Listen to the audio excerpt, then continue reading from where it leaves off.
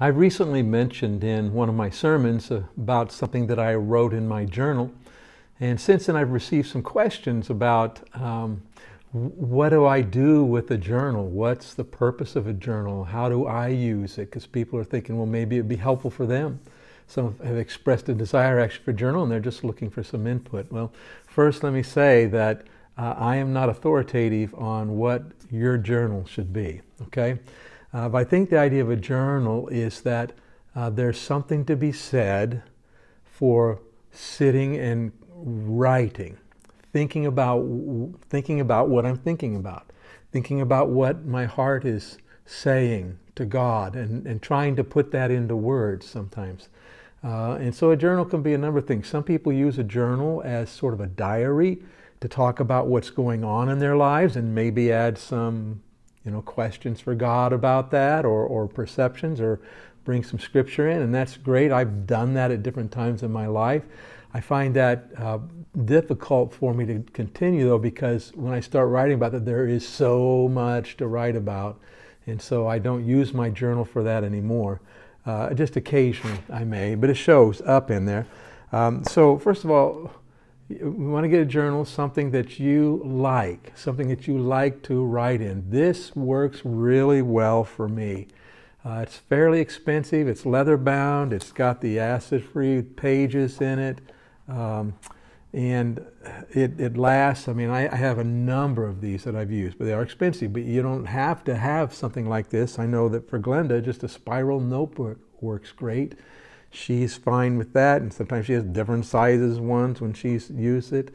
And um, but even like an essay book, you know, a bound essay book might be good for you to write. And whatever works for you. I've used uh, all sorts of different things over the years, but I've kind of settled on this at this point in my life. It's very uniform. I get the same one each time I run out, and so it's the same all the time. uh, but again, pick something that works well for you. Now, what I do in my journal, I'll just share you what I do right now. Uh, I write a number of things in there. First, I, I typically write the date, and I write the, the day, date, and time, and then I write where I am. And so in this case, I'm on the deck. And the deck, I've been able to be on the deck for the last few days here, which is really, really nice. Not always able to do that. So sometimes I'm writing it, I'm at the dining room table, or sometimes in the home, home office. But I just do that for myself. And then I put what the, the weather is like sunny, cloudy, rainy, snowy, whatever, and what the temperature is. Uh, there's no spiritual significance to that other than that I just like to think about that. I like when I look back and I'm, I'm trying to envision, you know, what was going on when I wrote this. Sometimes that, that helps me. Um, I have some other things that I'm keeping track across here that I know what the, they mean, and I, I write that down. These are things that I'm working on, just a little uh, code kind of thing for me. Uh, and then I typically just write maybe the two or three things that I think are planned for the day. Okay? All right, so then what I do is that I take and I take this, uh, this side and I, I write on this first and I write however far it goes. And what this is, is this is my prayer, my starting prayer with God for the day. Now, I may have already talked to God some at this point, I, um, I'm not locked into that. Uh, in fact, I like to when I get up to be aware that he is there and that I'm I meet with him. And uh, so I get up, I get the coffee made, I get my stuff out, get ready to go, sit down, and then I write this. And for me, I start off, "Good morning, Father," and then I, I either praise him for something, maybe something I'm seeing outside if I'm on the deck, or maybe something that's going on in life, something I've seen in His Word recently, or I may thank Him for something. Um, there are times when I'm just overwhelmed about something that's going on in my life, and so I might jump right into just talking about that to some extent. And so, so that's varying lengths. As you can see, some this took most of the page, and this just took a small part of the page.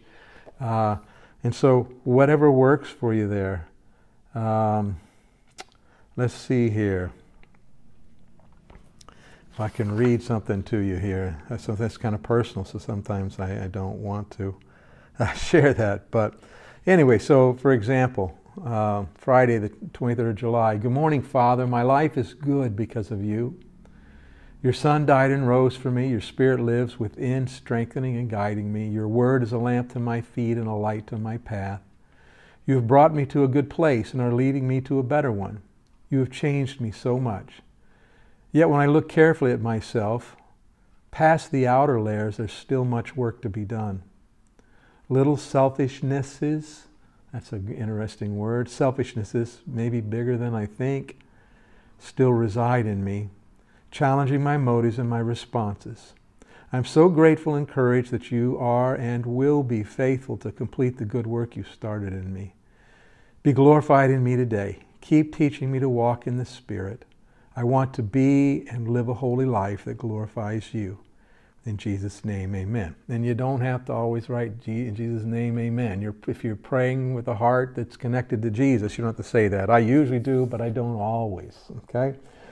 Um, so that's just an opening prayer for me. Then I have, um, I use this for my prayer requests. It took me a lot of years to try to figure out how to loose pieces of paper, writing in a journal. Uh, anyway, so but for me, I have um, a prayer journal, and I have things that are marked daily ongoing for myself and for my family. I have a couple pages of that. I write things in here. I write notes over here related to these. Maybe something happened on a specific date uh, that I can change. And then I get into uh, daily requests that are temporary, that are not ongoing, you know, needs and issues in people's lives and, and family uh, close uh, friends like that. I, I pray in those, and I use, I'll, I was again, I'll kind of write a date when I started. I do again write notes over here related to these prayer requests.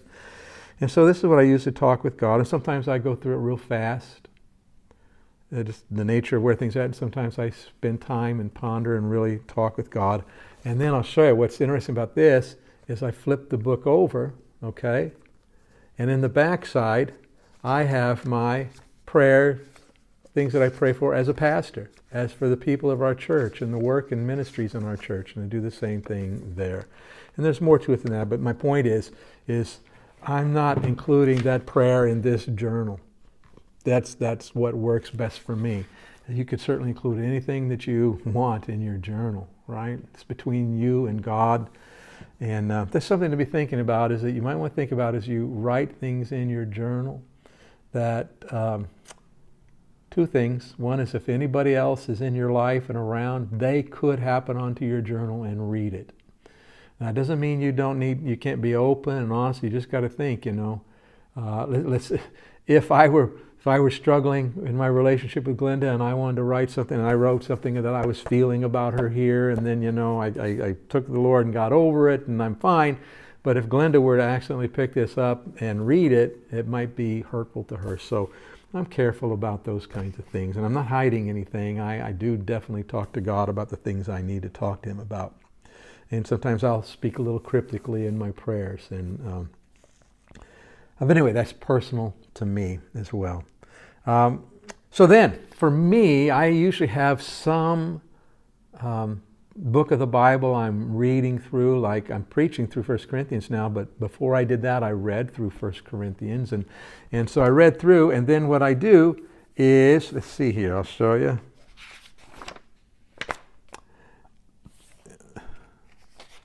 Hang on here, that's right. So I write up here, you know, what verses I'm looking at today, and then I write some notes. I, I actually sometimes copy parts of the scripture, often copy parts of scripture and then make some comments on it, thoughts, questions, um, observations, and, and, maybe talk. Sometimes I include a little more prayer to God about that and what's going on.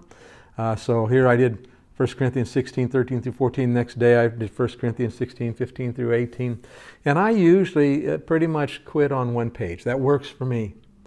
I've had times in my life where I wrote three or four pages a day, and it's just, it's it's really good, but it's just, it became more for me than I wanted to be. I wanted my time with God to be about my time with God, and less about me writing. So for me, that was important. Um, I could see certainly there'd be times, places where I might want to write a lot more and talk with God and, and work through it that way. So really, it's whatever works best for you to help you. And I've changed really. I mean, I've changed what I do with my journal. I've changed how it's set up over the years, and this is where I'm at right now. Um, and so I'd be glad to talk with any of you who have questions about, you know, what would be the benefit of a journal or or how you might go about some things, I'd be glad to talk with you about it. I do find it to be very valuable for me. This is, is almost every day. And there's occasional days when, eh, you know, doesn't happen. Either we had to leave real early or for some reason I got up real late. Uh, but almost every day I have this. I have my prayer book. And what I do is I, for me, I write that first prayer in here my, about what I'm talking about with God in, in a big picture kind of way. And then I go to praying and I pray for all those personal requests that I have every day. And then um, I um, open the Word, and this is when I read through those sections. Sometimes I read more than I'm writing about, but I do try to keep working through it, and that's when I make those notes in my journal. And then I also, uh, and I don't have it, guess I have it handy here actually. Yeah, well, it's, it's zipped up in my bag, but I usually have some book that I'm reading that's about a, my relationship with God, about a relationship with God. What does that mean? How does that look?